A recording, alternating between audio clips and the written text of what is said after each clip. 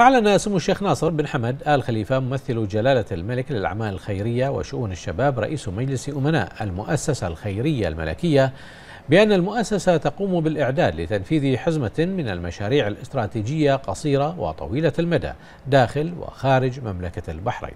جاء ذلك خلال ترأس سموه اجتماع مجلس أمناء المؤسسة حيث تقدم سموه بخالص الشكر والتقدير إلى جلالة الملك المفدى الرئيس الفخري للمؤسسة الخيرية الملكية على دعم جلالته واهتمامه الكبير بالعمل الخيري والإنساني الذي تقوم به المؤسسة والدعم المتواصل للأيتام والأرامل وجميع الفئات المحتاجة في مملكة البحرين من أجل أن يحظى الجميع بحياة كريمة. مثمنا سموه اللفتات الإنسانية من جلالته تجاه المنكوبين من الدول والشعوب الشقيقة والصديقة والتي تعكس المواقف الثابتة والواضحة لمملكة البحرين قيادة وحكومة وشعبا تجاه الأشقاء والأصدقاء في مختلف دول العالم.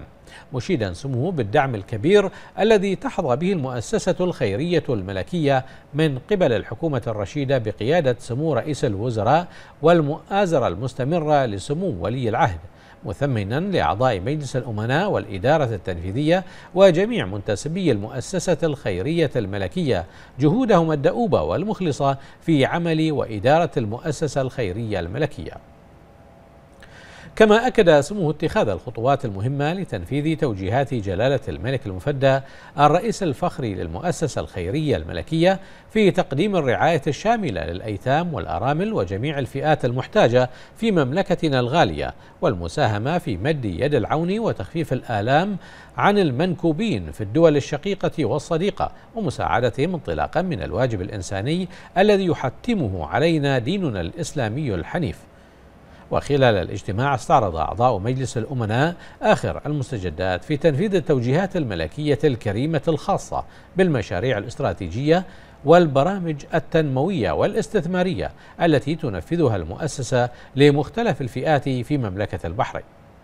كما ثمن أعضاء مجلس الأمناء الدعم الكريم من الحكومة بقيادة صاحب السمو الملكي الأمير خليفة بن سلمان آل خليفة رئيس الوزراء والمؤازرة المستمرة لصاحب السمو الملكي الأمير سلمان بن حمد آل خليفة ولي العهد الأمين النائب الأول لرئيس مجلس الوزراء مثمنين دور وزارة الخارجية في تسهيل عمل المؤسسة في تنفيذ المشاريع الإنسانية خارج المملكة. كما ناقش المجلس عددا من المشاريع الاستثمارية والاستراتيجية.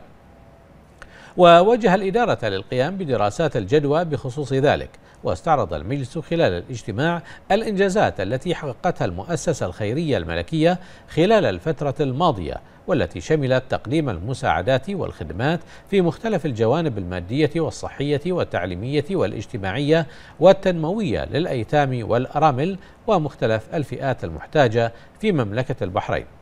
بالإضافة إلى المشاريع الإغاثية والإنسانية التي قامت بها المؤسسة للدول الشقيقة والصديقة.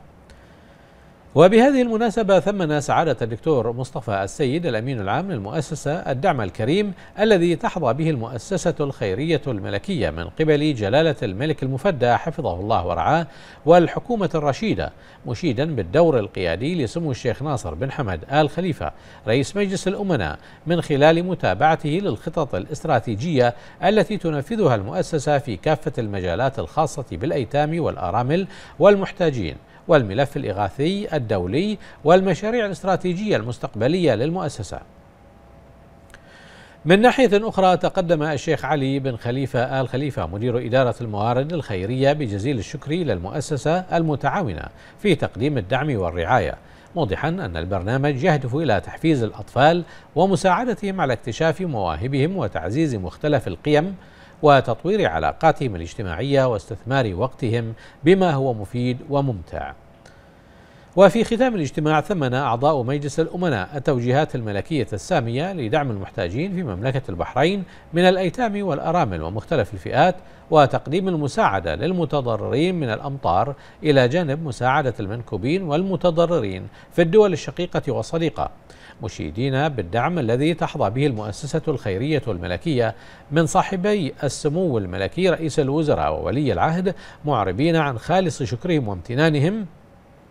لسمو الشيخ ناصر بن حمد آل خليفة على جهود سموه في دعم العمل الخيري والإنساني متمثلا في عمل المؤسسة الخيرية الملكية من أجل تقديم أفضل الخدمات والارتقاء بها بما يحقق تطلعات ورؤى جلالة الملك المفدى.